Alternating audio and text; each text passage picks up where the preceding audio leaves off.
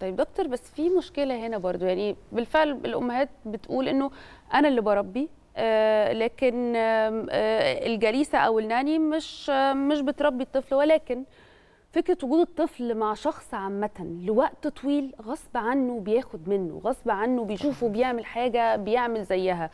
بيقلدوا طبعا يعني فهي غصب عن الطفل وغصب عن الأم وغصب طبعاً، عن الناني طبعاً. لازم بيبقى فيه برضو للأسف يعني لا في حاجات طبعا بتتاخد. أنا المفروض الوقت اللي الطفل يقضيه مع الناني أو مع الجليسه أو مع المربية ده قد إيه؟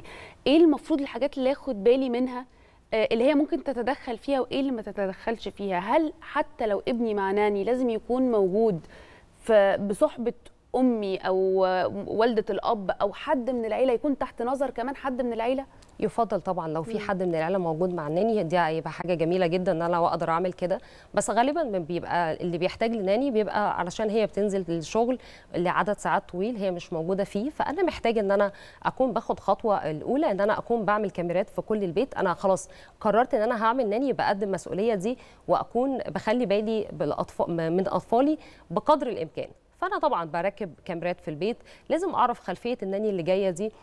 في النهاية هي وظيفة باجر يعني آه، ممكن تكون لو في فرصة أفضل مني هتكون بتسيبني وبتسيب أولادي وبتروح لحد طبعاً. تاني. آه، لازم أراعي إن فكرة أولادي نفسهم ارتباطهم بشخص معين موجود معاهم لعدد ساعات طويل وبعد شوية إذا استمرت معايا سنة أو سنتين وممكن تتغير بعدين الطفل نفسه آه، الطفل نفسه بيحصل له تشتت وبيحصل له آه، أذية نفسية كبيرة جدا لأن هو بيتعلق بالشخص اللي هو بيبقى موجود معاه. انت بتقولي ليه تأثير؟ آه طبعا ليه تأثير. هو بالنسبة له ما بيفرقش. هو, هو فرد من. أفراد العيلة. آه طبعا. خليني أقول لك في البداية إنه أصلا في لما تيجي الأم ب... أول ما بيجي عندها بيبي ويبقى رضيع إنه إحنا جسمنا كأمهات بيفرز هرمون آه، هرمون الحب أو هرمون الارتباط. فده اللي بيخلي الأم عندها استعداد إن هي تكون بتتحمل التعب وإن هي تكون آه، بتحس بإحساس مختلف والطفل نفسه التاتشنج أو اللمس مع الطفل في في المرحلة دي بيختلف. طب إيه رأيك بقى لما أجيب حد بيقدم ده بديلا عني. جميل. الارتباط هيكون لمين؟ طب دكتورة مارلين حضرتك قلتي حاجة مهمة جدا من شوية. المرب- المربيه أو الجليسة ممكن تراقب ممكن تساعد تاخد بالها من الولاد لكن مش هتقدم عطف أو حنان مش هتربي. طبعاً. يعني هي مربية برضو المصطلح ده عايزين عايز مراجعة لكن اللي بيربي في الآخر هو الأب والأم. ده طبعاً. مسؤولية ده ابني وبنتي. النقطة دي تحديدا آه، لما أسيب ابني أو بنتي مع مربية لفترة طويلة ممكن يأثر إزاي سلبيا على آه، سلوكياته وعلى أفكاره؟ وإنه بعيد عن الحضن الطبيعي اللي هو الأم والأب مع حد في النهاية هو غريب في البيت.